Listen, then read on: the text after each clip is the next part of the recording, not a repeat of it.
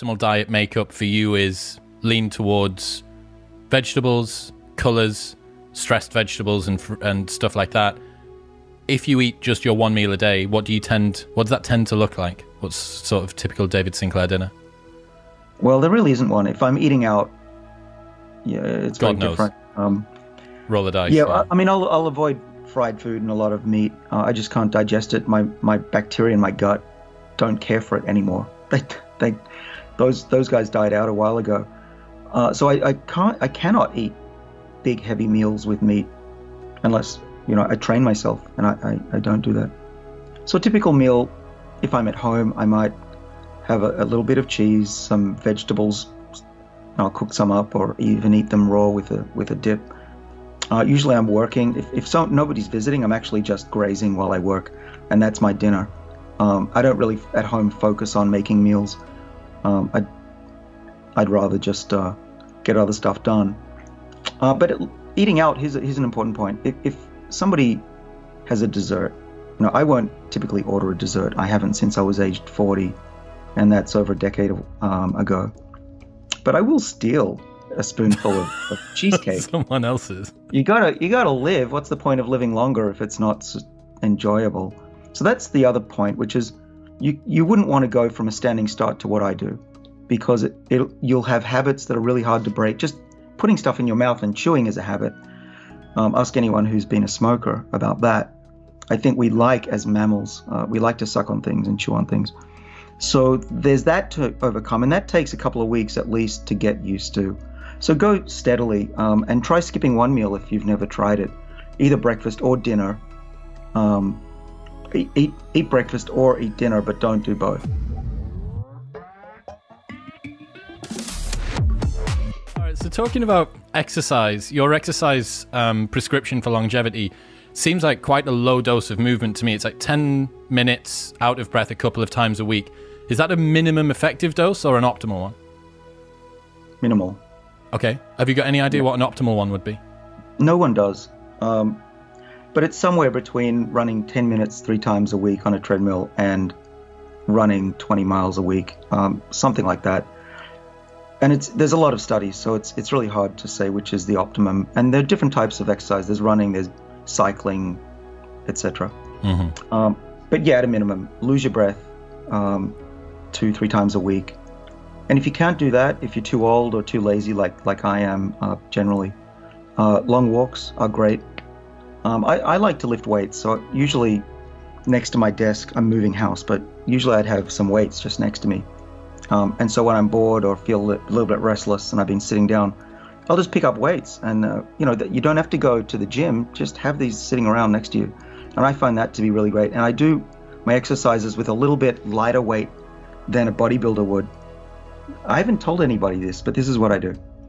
Um, I do a lot of reps, and I'm doing this and this during the day. And I do many reps, and I do them fast because that also gives me the aerobic exercise as well as builds up my muscle. Now, I have a gym, um, so I do more serious weights, but in my office, I'm doing high reps and it's aerobic and, and muscle building, which, you know, I've been optimizing this for my body for the last 30 years since I was a kid. Um, and I don't know if it works for everybody, but um, for me, I, I've never felt this good. I've never been this sharp. I've never been this happy. Um, I'm not going to say I've never looked this good, but I certainly feel young and, and great with what I'm doing. Well, you had to lift your shirt up to clean the camera lens before we got started, and you you're looking lean at the moment. Lost whatever it was, twelve pounds since February. Yeah, my, I found my six pack. It was somewhere under there. Yeah, Uh, man. That's awesome. Well, another um, advocate, I guess, similarly within this space, although a little bit more towards the performance endurance sides, Ben Greenfield. And he tells me that um, trying to walk through his office, he says, is like doing an obstacle course because he's got a kettlebell here and he's got a resistance band there.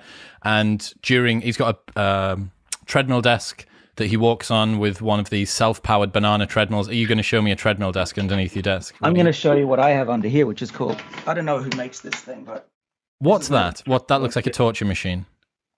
No, Oh, is it a stepper? Is it a stepper? Stepper under my desk. Wow. Okay.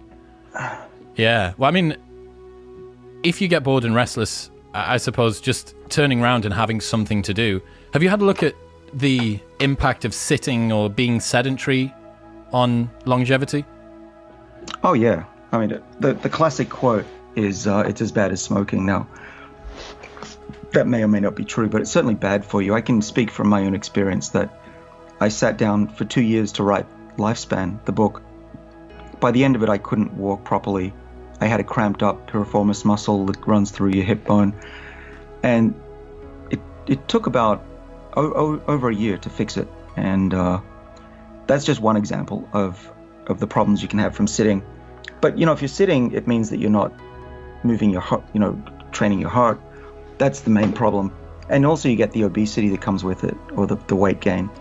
And there's very few things in this life you can do to accelerate your body's clock faster uh, than to gain uh, a lot of uh, white adipose tissue or, or you know, uh, fat on your body.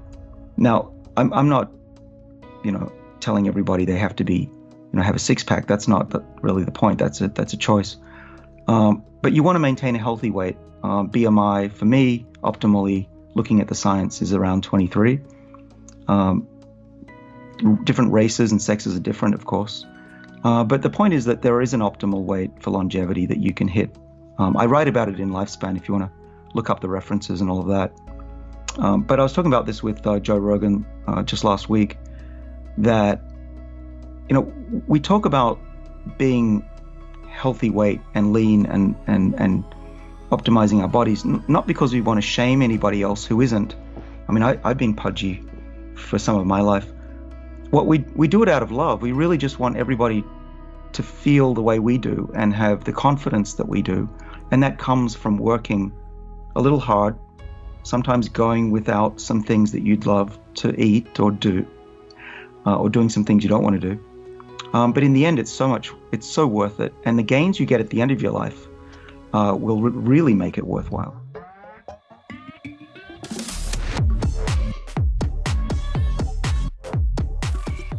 Can we go through your daily supplement routine now? We did one two and a half years ago, and I'm really interested to try and compare. So morning to night, what are you mm. what are you currently taking, uh, doses and such like? Yeah, well, actually, it hasn't changed since I wrote uh, Lifespan 18 months ago. So page 304, see the list. Um, I've added a few things. I work out more. I'm doing more weights three times a day. Supplementation, still NMN, resveratrol, some metformin, uh, vitamin Baby aspirin? The baby aspirin, definitely. That's, if nothing else, protective against colon cancer, but probably other stuff too. I like to keep inflammation down. That's a hallmark of aging. Um, so I've added um, quercetin, uh, which is a molecule related to resveratrol, which is also uh, suppresses the activity of senescent cells. Um, and there's another one that I'm experimenting with uh, to have a look what happens. And I trust me, I'm I'm, I'm a doctor, right? I, I'm a, I'm a PhD. I monitor myself. I, I know my body better than probably anyone on the planet few exceptions, but I, I know when something negatively affects me or positively, and so I, I, can do these experiments on myself. So the the one that I'm testing out is Fisetin, F-I-S-E-T-I-N, Fisetin. We showed in 2003 and 2005 in two Nature papers that it extends the lifespan of animals, uh, small animals, worms and flies, but nevertheless it's been now shown that it's senolytic, it kills off the senescent cells in the body, at least in mice, probably in humans, based on some human data. And so I'm looking at that. Um, other than that, that that's my life. I, I definitely eat less now. I've ski- I'm skipping lunch, not just breakfast, routinely, and really enjoying that. Have you got any idea what sort of calories typically on a day you would end up eating total? No, I probably would have a, one drink, so probably either a red wine or a whiskey at night, with a salad, some cheese, a little bit, maybe a bit of shrimp, maybe some chicken if I'm eating out, but probably not often. Uh, but that's it. I, I, tend not to eat more than half a regular meal at dinner compared to what I see everyone else eat. And that's so, once a day? Once a day, yeah. Wow. And then I'm chewing on gum and drinking tea the rest of the time. I do have a bit of yogurt in the morning, which I freely admit It's That's to mix a- your resveratrol in, right? Yeah, because the all these molecules, the polyphenols that come from plants, quercetin, fisetin, um, resveratrol, even curcumin, uh, especially curcumin, they're like brick dust. They don't they don't get absorbed. They're they, they're crunchy. So you have to mix them with something, olive oil or yogurt, so that they they get absorbed. And I know this from human clinical trials. I'm not just making this stuff up. And if you so if you have resveratrol with a bit of food and fatty food, you get five times the levels in the blood.